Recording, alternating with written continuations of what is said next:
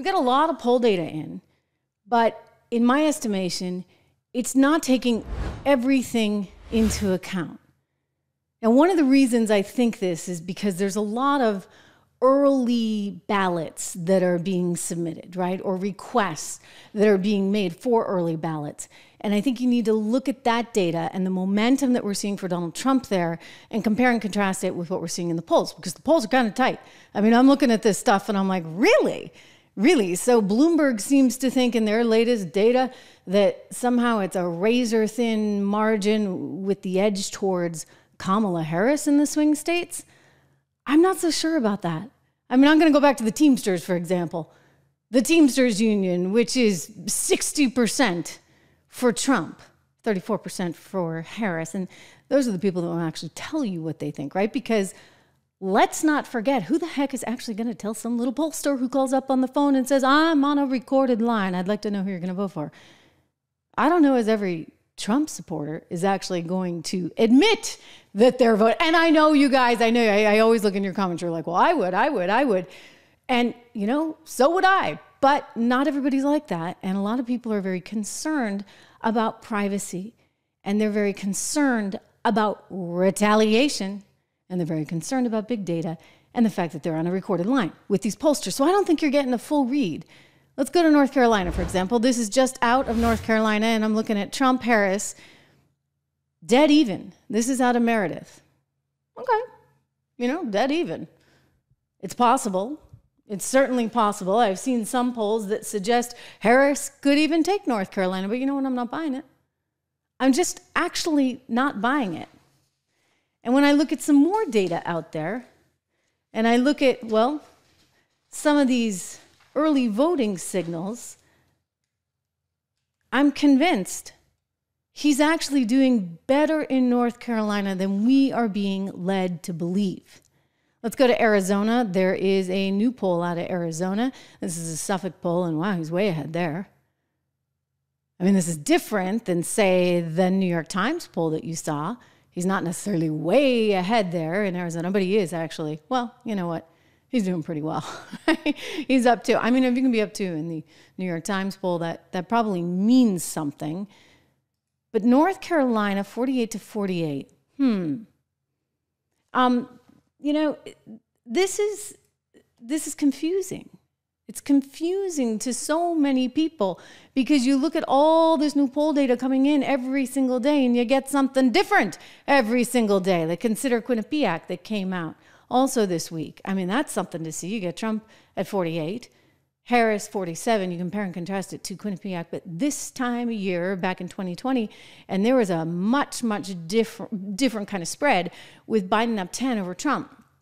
And so if Harris is only at 47, at this particular time, and that's with all the momentum in the world behind her, then can she really take Pennsylvania? Now, look, Joe was from there. He had a following there. He had a base of support there. I think there are a lot of people in Pennsylvania that don't really feel so enthusiastic about Kamala Harris, and they don't feel so enthusiastic about even going to vote, which is why momentum in a race like this one that is this close, momentum can actually be everything right? And that's what the pollsters are not really taking into consideration. I look to Nate Silver's model because it's interesting to me. It's a little more complex in that he's not just looking at poll data, he's also looking at economic situations, et cetera, in various states.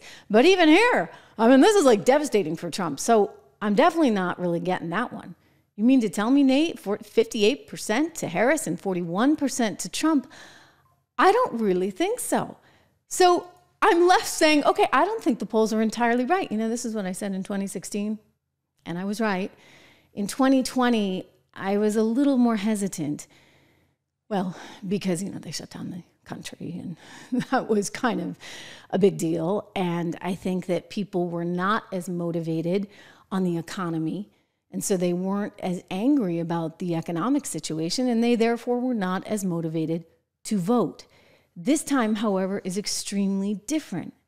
So when you take a look at all of the data, here's what I'm going to tell you guys Kamala Harris should be very, very, very worried. And that's because of something I'm going to share with you. Pennsylvania, Virginia, North Carolina, Florida, we are all seeing in each one of these states a whole lot of momentum for early votes. That's important. That's a consideration.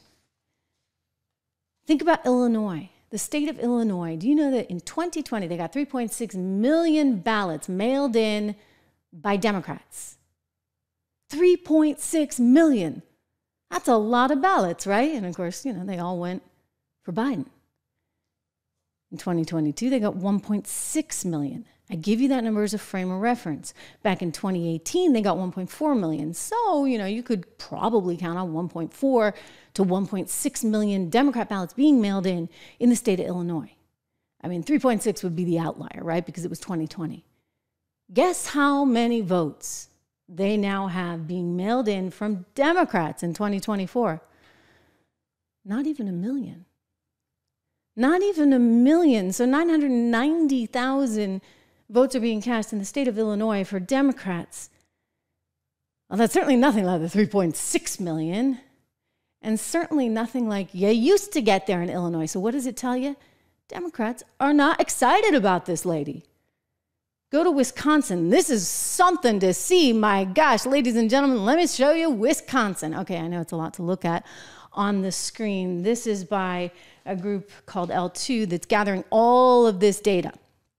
And they're looking at Wisconsin and they're looking at who is actually sending in the ballots now. Let me direct your eyes. If you're listening on Apple Podcasts, thank you for that, or Spotify, thank you for that. Don't forget to leave us five stars and a nice little message, nice little rating there. If you're watching on YouTube, terrific. Join the live conversation. Make sure you hit the bell and you subscribe. Look at that 37 to 41%. It tells you Republicans are actually up. Wow, in Wisconsin, they're up four points. But wait a second, that's not what the Bloomberg poll is telling me. I mean, I'm not even seeing that kind of stuff in the New York Times. Now, are we? No, we're not. And yet, go back to something like this the Gallup survey that talks about the issues that are so important to voters and historically, where have you seen the edge go to? Republican, Republican, Republican, Republican. US satisfaction. Nobody's satisfied with the US right now. So the advantage goes to certainly not the incumbent.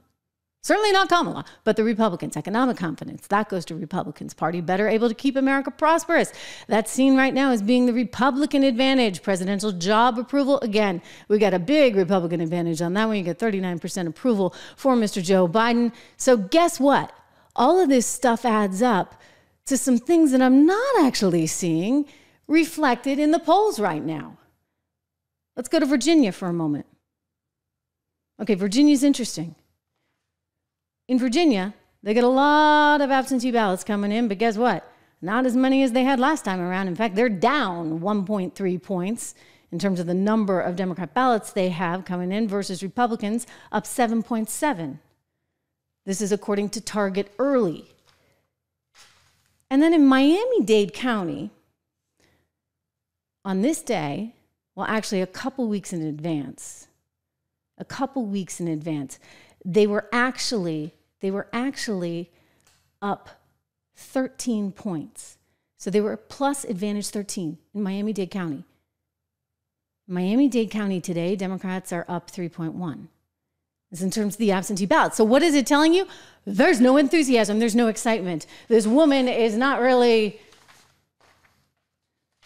bringing them out of the woodwork, so to speak, which is something that was actually noticed in the Daily Beast let me go to this one for you. The Daily Beast writing The clock is ticking, and Kamala Harris is not yet where she should be in the must win battleground states.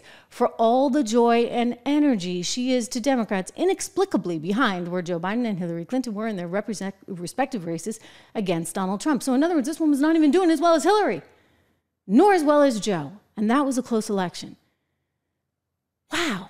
Why is that? Well, I'll tell you why it is. I mean, nobody wants more the same. Nobody wants the woman who is actually in charge of the administration as vice president to be continuing on in any kind of way, shape, or form because we got a lousy economy, we got a terrible international situation, and we got a heck of a bad situation on our border.